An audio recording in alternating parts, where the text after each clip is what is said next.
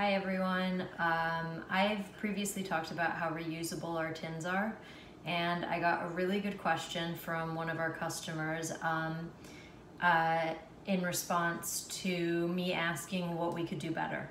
And one of the things she asked for was um, tips or video on how to um, clean out your tin so you can reuse it. So the one thing that a lot of people don't know is that um, once you hear it, it kind of makes sense because it happens with clothes and other things. But I recommend this for makeup brushes too.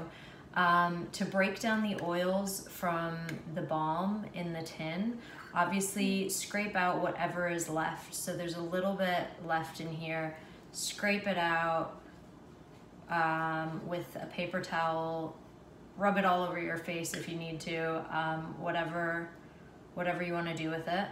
And then um, the best thing to do before you wet the tin is to uh, soap it up.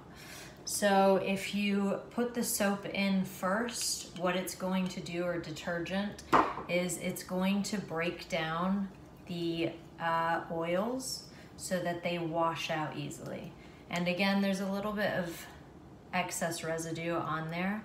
So I recommend using um, a paper towel to get the excess out. Let me just grab one.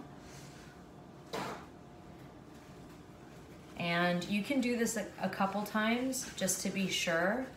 Um, or even put it in the in the dishwasher after you've cleaned it out once. Um, but that is the general key to really getting the product, any oil-based product out of a container. Wash it with hot water, um, and then you'll see that it is like new, minus the dents.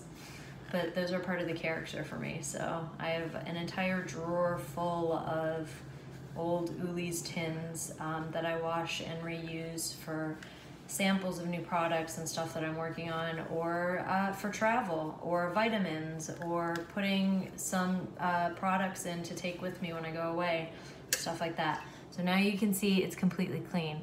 I also recommend for sanitary reasons to spritz with some rubbing alcohol afterwards, and that will uh, kill any anything off. But it is oil based, so there's not much bacterial growth or anything like that. You're basically just cleaning it out so it's new for reuse.